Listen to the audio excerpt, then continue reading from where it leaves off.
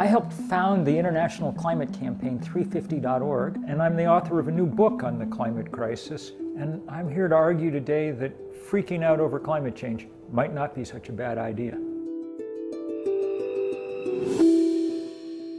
We've known about climate change for three decades, and for three decades we've wondered about how to get people to act. An awful lot of people have decided that the best way is to sugarcoat the situation, or to stress solutions instead of problems and the easier the solution, the better. This hasn't worked. So the time has come for more people to start doing what we should have done all along speak plainly. I called my new book Falter Has the Human Game Begun to Play Itself Out? Not because I thought it would charm people, but because I thought it depicted accurately the world we live in now.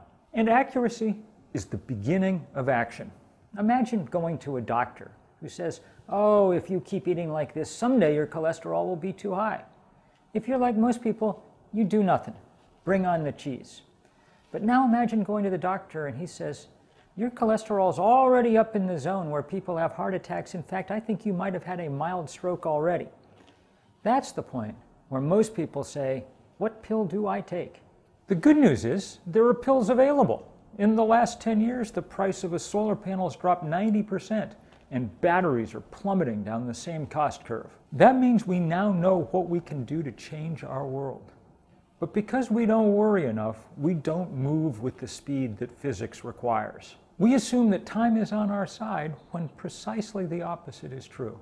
The oil companies are stringing out this transition, trying to preserve their business model for a few more decades, and they continue to use the same soothing message they've used for years. We don't know for sure. Maybe it won't be so bad. But we do know for sure. Scientists have sounded the alarm loud and clear. And it's already bad. Just ask the people who managed to survive this year's record floods in the Midwest or in Mozambique. Greta Thunberg, leader of the remarkable school climate strikes across Europe, told a crowd of bigwigs in Davos this year, I want you to panic. Precisely because we've waited so long to do anything, panic is now appropriate. And it'll probably be more effective than playing pretend.